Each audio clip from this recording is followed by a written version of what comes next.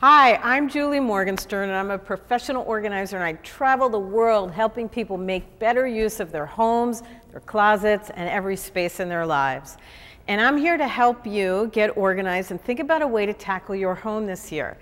Um, so, what I want you to think about uh, to avoid becoming overwhelmed and thinking, I don't know where to start, so I'm not going to start anywhere, is start with a room by room inventory with a notepad. Go and look in every space and say, what does this room need? It needs decluttering. I need some better storage in this room. You know, there's stuff in my way. I need to make better use of this closet.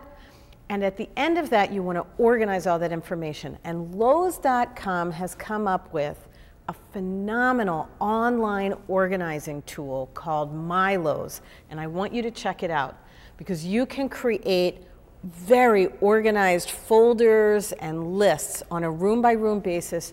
You can take measurements at home and upload them into your room by room plan. And then when you go shopping, you can find the perfect size shelf, container, cubby, or storage unit for the exact little corner you need to put it in. So take advantage of these online tools.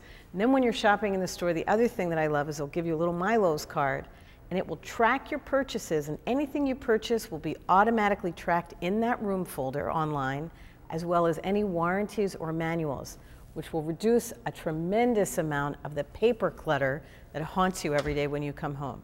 Go online, take advantage of all those tools and work room by room this year, one room at a time, and you will find you'll have more time, you'll have more money, you can save money, and you will reduce stress and learn to love your home again. So go to Lowe's.com and check out the My Lowe's organizing tools. They'll make managing your home so much simpler. You, you'll be so excited to go home every day.